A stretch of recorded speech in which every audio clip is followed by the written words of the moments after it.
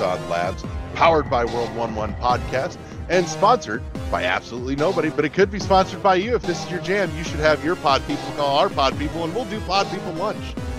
I am, as always, your host, Larry the Bearded Wonder. Joining me this evening is my partner in crime, Isabel Bramman. Hello. And joining Phazon Labs for the first time, but definitely not the last, Mykell Morphball Mishap Brown. Too fat to fit into a morph ball. you just kind of expand a little until you're perfectly spherical and roll around full size. Uh-huh. I look like a gray version of the uh, the blueberry thing from w- Willy Wonka. we'll paint some orange and yellow on there for you. so, so real quick, Mykell, you want to introduce yourself since you're new to this show, but not us as a family? Not particularly. I'm not important enough to remember. So, uh, Mykell is uh, part of the World One One family and has been for close to a year and a half now, if I recall. Um, but he's uh, he will be joining us going forward for Phazon Labs. He's one of my oldest uh, Metroid compad- uh, compatriots, actually. So um, we we kind of go way the hell back, and uh, we're hoping that we keep going way the hell forward. So, but this week, let's uh, let's dig in with uh, our our pitch of the week, which is one that Mykell and I have in chat probably over the last 12 months kind of toyed with the idea and had some fun knocking around. So I would love to roll into a Metroid game where we're starting fully powered and the difficulty curve comes from the fact that the further we're playing and the deeper we get into whatever the setting is, I'm not even feeling picky about the setting. This whole idea for me is just kind of all about the baseline mechanic of decay. Is that the further we get in, an aged Samus with, you know, a, an old suit that's barely hanging in there starts malfunctioning more and more, and you're losing your abilities from full power down to next to nothing the further and deeper you get into this. Hmm. And so instead of powering up, you have to now find new ways to work with less and less in order to progress and eventually make your way through. Mm-hmm. And I'm, I'm picturing, you know, going up against a, a phenomenal, you know, ending boss fight with not much more than a pea shooter, basically. Mm-hmm. So, but that's kind of my baseline thought. So I'm I'm gonna toss it out there for the group to play with and see if we've got any ideas we maybe want to wrap this concept in. Almost. Well, what, well, what about the concept of like, yeah, your stuff's malfunctioning, your powers start.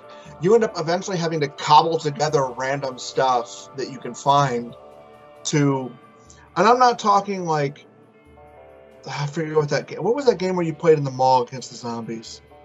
Oh, Dead Rising. Yeah, I'm, I'm, not. I'm not talking like that, but I'm talking like she has to basically improvise with various things that she finds. Mm-hmm. Um, behind this, you know, or like it, would be interesting just the content to see her have to pick up other weaponry that's not able to be integrated into the suit. Mm-hmm. You know, like I don't know. I just think something like that could be interesting. Yeah. Or her have to figure out a way to make it to where the suit can use it, mm-hmm. even though it's clunky and you know unwieldy. Yeah, I'm almost like picturing, you know, like the idea of the arm cannon malfunctions. So she yeah. just rips off the arm cannon and she now has two arms.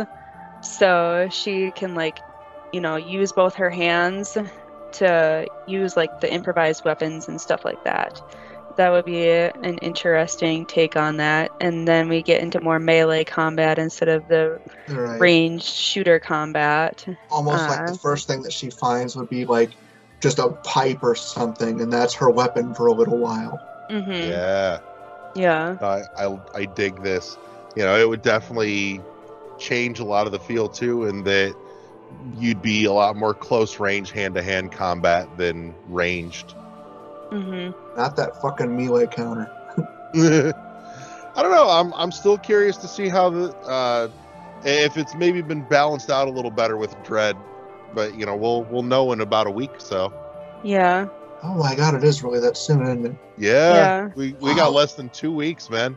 Mm-hmm. So Yeah, I'm thinking like to go with like a gameplay style, like a like a first person kind of perspective. Um and then as you like pick up various items, you would be able to, you know, kind of like experiment and that kind of thing. Uh like maybe like you combine two kind of items and then you'd be able to you know, like the pipe and like maybe like a flamethrower or something like that, and suddenly you have a flaming, you know, like club or whatever. That'd be like an interesting concept. Uh, I'm thinking. So, yeah. could definitely see like some real primitive workbench sections to, you know, play with pulling stuff apart and putting it back together in new arrangements to try and get different functions Mhm. and attributes out of some of the stuff you picked up. You can almost Yeah. filter weapons similar to how uh, Biomutant was. Hmm. Because Biomutant, pretty much anything you find, you could shove into a weapon somehow. Mm-hmm. Yeah. I'm almost thinking like the Resident like the newer Resident Evil games like had more well not like the not like the creative weapons, but like the idea that it's more like the kind of like tense because you don't have enough uh, ammo. So you kind of have to be creative with like your melee weapons and like how you approach different obstacles and things like that as well. So that might Part be also. Oh, sorry. Go ahead. Oh, I was gonna say it just popped in my head. Part of me is thinking too that I, I don't know if I'd want to go first person because I'm kind of liking the idea of asymmetrical parts of her suit are just kind of coming apart and falling off. Like maybe she's, you know, we we we're rocking the Varia suit with the shoulder buffs, Mm-hmm. but like one of the shoulder buffs is basically fallen off and crumbled. Part of the chest plate's fallen off and it's just exposed wiring underneath and everything. Mm-hmm. Like I, I want that good visual decay. I can Mm. almost see this playing similar to uh, the game Rad. Okay. Like, it was kind of an overhead, almost isometric view. Mm-hmm. Um, the game was mostly melee focused, but it had a very cobbled together feel to it. Mm-hmm. Um, and honestly, in something like this, I don't know how you would make it work, but because Rad is actually a, a roguelike, um, something like that would would work very well for this if you could figure out a way to make it make sense storyline wise. Mm-hmm. Yeah, I'm actually now that you mentioned the isometric, I'm almost thinking of the Super Giant games Yeah, because Yeah. those are isometric, and a lot of them have like the uh, more roguelike elements. Um, and the one that the one that I've played, I played a little bit of Bastion, uh, and that one has a lot of like creative weapons and a really interesting story from what I've seen so far with that's kind of like destroyed world and stuff. So maybe that could be like an interesting idea that Samus kind of, you know, has to deal with not only her suit falling apart, but the world is kind of crumbling around her as well.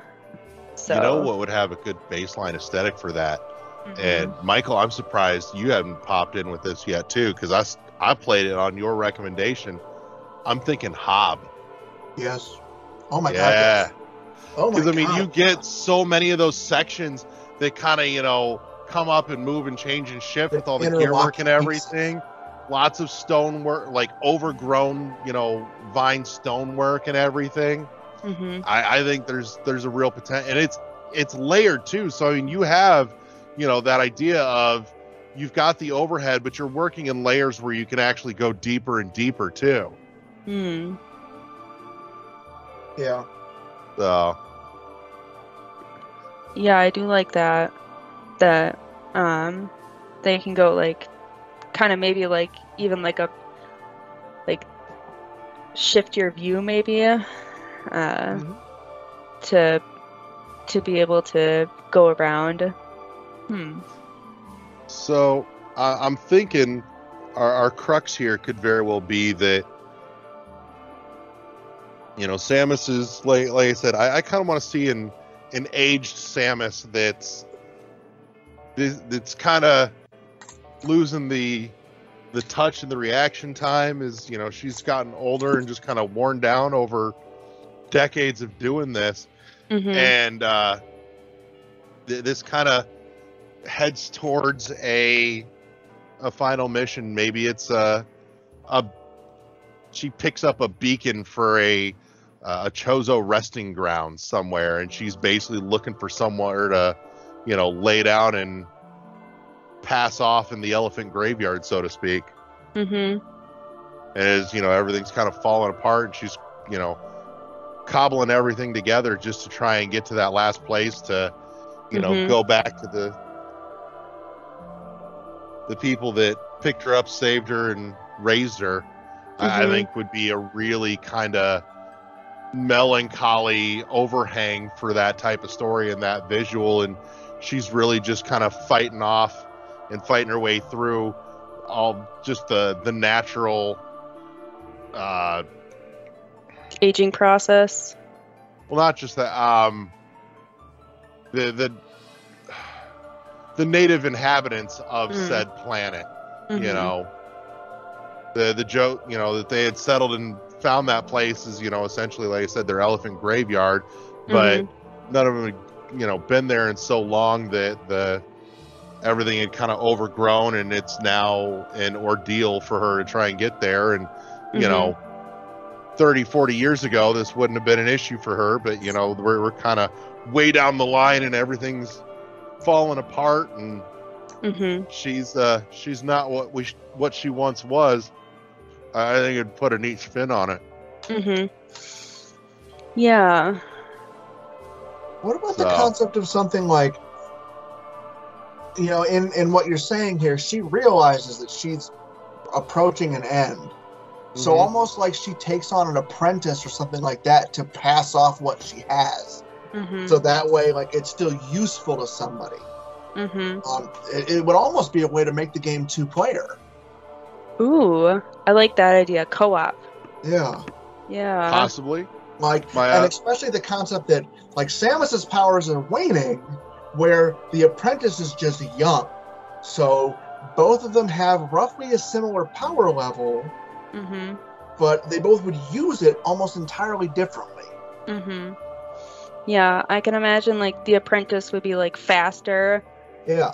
But and like Samus would be more of like a tank. Uh, so she would be slower, but she could take more hits. So interesting thought. Yeah. No, I do like and this. And then once once you know we we get to end game and we uh, we finally you know reach the final resting place, um, you know the the tech is there for said uh, apprentice or uh, attaché to put together the last pieces to essentially you know build their own suit and mm-hmm. get a get a last infusion of chozo dna like samus had to give that performance boost and tech compatibility and lays Samus to rest there and then takes off uh, out of the place and we we've got a whole new character to follow. Mm-hmm. So Yeah. I like this idea. Hell, idea. there's a, a dread theory.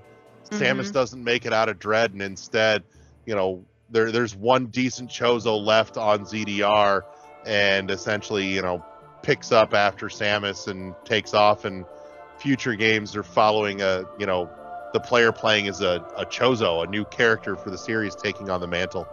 mm. hmm I mean, we'll know in a couple of weeks. It's probably yeah, not that, but you know, yeah. Mm-hmm. Wild speculation is what we're about. Yeah. But I do like this idea of having like co-op.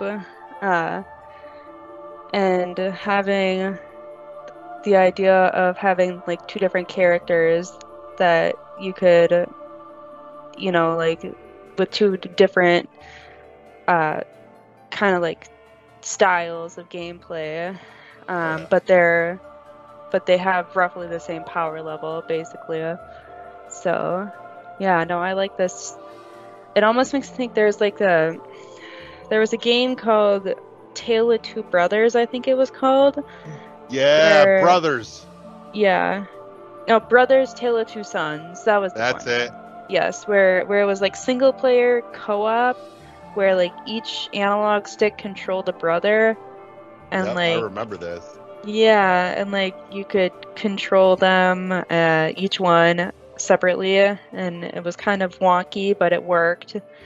Uh, and it went through a kind of a interesting story like that. So, I'm also thinking too. There was uh, just in terms of you know not looking at this as a side scroll, but as a you know like a top-down isometric. Mm-hmm. There was a game on the Game Boy Advance and original DS that was a top-down isometric Metroidvania that was a lot of fun too. It was called Scurge Hive. Mm, yeah, you've mentioned that before. Had yeah. kind of had kind of Metroid Fusion feel a little bit to it, mm-hmm. but that was that was a good one and a lot of fun. I should go back mm-hmm. and replay that actually. Yeah. so yeah, yeah, I yeah, but like the idea of having having like the two characters I'm just trying to think of like how you would control the two characters if you're doing single player. Uh part of me thinks one's just AI controlled auto support. Mm, that's yeah. true. That's true. It's not that uncommon. I mean, we did, you know, we we've done it with all kinds of stuff like Army of Two and mm-hmm. everything else under the sun, really. So. Mm-hmm. It would just be easier if it was, you know, like if you had multiple people. Yeah, that's true. I wouldn't even say easier, but it would probably solidly be more fun. Yeah, that's yeah. Mm-hmm. Possibly a uh, possibly a toggle between the two, so that way you know you can have primary control over which one you might need more at the moment mm-hmm. Yeah given that abilities and uh, attributes are varying between the 2 mm-hmm. so i think that'd be a good way to go around puzzle solving some of it mm-hmm. unless you did it story based similar to how they did the new god of war how your secondary character was almost more of a tool than an actual character mm-hmm. yeah that's not a bad way to do it either. Mm-hmm. So, right. So, what what kind of music plays in your head for this? Ooh. I'm thinking very atmospheric choirs, uh, Chozo choirs for this game. Uh, going back to like the Super Giant games style, they they've always done very solid uh, music at a lot of their stuff as like ballads and that kind of thing. I think that'd be really interesting if the at the very end they sing a ballad about Samus's accomplishments. I think that'd be cool. I don't know. I mean, I've got I got two of Super Giants games playing in my head, and I don't remember ballads in them because I'm thinking like Bastion was more Western feel yeah. Um, with the music, and then Hades was kind of you know ancient Greek metal. Mm-hmm. Have you started Hades yet? Oh, I started. I just never. I haven't gotten to do much with it. I just recently hundred percented it. well, I, I, know that Transistor and uh, Pyre both have ballads in them, if I remember correctly. I know the Pyre okay. definitely does. Transistor and those are two that of, I haven't done much with. Yeah. So, uh, so that's what touched Pyre at all yet. Yeah. That one I really want to play. It's not on the Switch though. It's the only Super Giant game that's not on the Switch, which I'm really surprised. Yeah, that's kind of weird. But but I'm I'm I'm thinking I've got more kind of uh, nature organic heavy music playing in my head. Mm-hmm. Maybe maybe a little more uh, synth sci-fi heavy to start, mm-hmm. and uh, the the further we go, it gives way to that more kind of uh, natural, organic feel, mm-hmm. and you know, as as she's kind of fallen apart at her worst, you know, it, it starts to get a little more disconcordant Mm-hmm. to to fit with it. What if the the music is directly tied with how her suit is falling apart? Like Yeah. it starts out, you know, there's more of the music, and as it progresses, it gets less and quieter More more Hmm. stark. un- until like, and I almost think like at the end, you really actually do get this ballad of them of the Chozo people praising her accomplishments and things as she's going into this the the, the Chozo graveyard we were talking about. Mm-hmm. Yeah. Um, but like, there's been a, a consistent drop off throughout the entirety of the game of it very obviously just getting more and more minimalistic. Mm. Yeah, kind of layers peeling away real Yeah. subtly. Mm-hmm. Mm-hmm. I get behind that. Or ex- Yeah. except, except in situations maybe where it does focus on the apprentice style character, where the mil- the the music kind of crescendos a little bit more and more with that character. Mm-hmm. Yeah, almost like maybe Like- like two different music styles. Yeah, Uh, Mhm. Like or behind or like two different music instruments maybe to uh to like differentiate between them. Like I'm almost thinking like more like synths for Samus and more like you know like regular kind of like like maybe like a guitar or something Mhm. for the apprentice or something like that. theoretically, you could also do something like during each different piece of phase of the game, as she, as her suit is falling apart, you're hearing like broken renditions of music from past games. Hmm. Mhm. You know, like the the the theme that plays when uh when you're fighting like Mother Brain of Super Metroid. Just imagine a kind of damaged version of that Mhm. playing while just various things are going on. Hmm. Or maybe just like a much quieter Yeah, more subdued. know. Yeah. I do like that. Yeah. So yeah. as we've been playing with this, I I think you know the this has to have something of a uh, a conclusive ending and a crux for you know what set it off all in the first place. And my brain goes to the idea that something found their resting grounds and was you know has been essentially desecrating their their graveyard and it tripped this beacon that Samus Mhm. picked up and you know went to went to head there and the the final bout with whatever this awful thing is Not Ridley. um yeah definitely no Rid- Not Rid- Ridley. ridley's got to be done damn it Crocomire. yeah I just want Crocomire to show back up. I don't even care where. i really do too. I mean who knows? Maybe in a couple weeks we'll see him because obviously uh you know somebody else is making a return appearance for the first time in forever so. But um but no you know. The uh well we'll have maybe our apprentice uh basically in the line of fire and Samus steps in the way takes the hit and that's what puts her down and Hmm. she gets off the last shot and takes out the creature and that's that's how we close this out essentially or at least bring the the gameplay portion to an end and Mhm. wrap the story at the end of you know the the like protege I almost like the idea of Samus walking into this knowing full well what all this means. Like Mhm. she Mm. knows she's not walking out of this situation. Mhm. at least a gut feeling perhaps Yeah, Mhm. like almost like she's been avoiding this place because she knows what it really means in the end. getting Mm. like matt smith trenzalore vibes Yeah, yeah. yeah Mhm. So, but yeah, no, I'm I'm I'm in full support of all of this, and uh, so I, I think that brings us to the point where we we put a bow on it and we figure out what the fuck it's called. Mhm. So I've got an idea, but I, I want to hear from the group. What what what title would you put to this?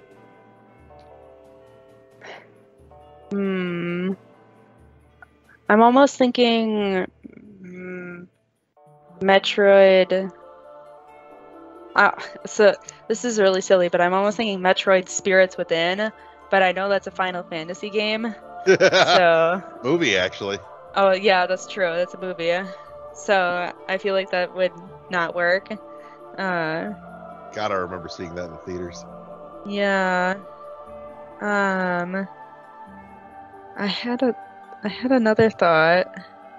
I'm not sure. Mykell, what about you? I don't really have anything specific, but something akin, something about passing the torch on. Hmm. Um, I don't know. I've, I've got nothing specific, like no specific phrase or anything, but something that relays that that this is the story continuing in a new version. Uh huh.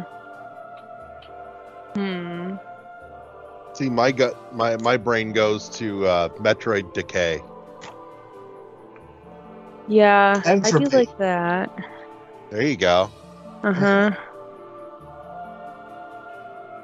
So, I I almost feel like as though like like Metroid the final chapter and and then at the very end there's like as we see the apprentice flying away there's the title screen and then you put a question mark at the very end Mm. but I feel like that would be silly too so but Metroid Passage. Ooh, I like that one. I like that one a lot. That one I think is a good one. That that has a right feel to it. Mm-hmm. So The Well, there we last go. passage. there you go. Hmm So Yeah. we have a name for this uh, this some bitch. So I, I think that's where we close this up for this week. Um, we'll, we'll make the the quick rounds here and say thank you to everybody that tuned in this week. Uh, thank you to both Isabel and uh, Mykell for joining me this week, and we'll catch y'all next time. See you next mission. Peace. Bye.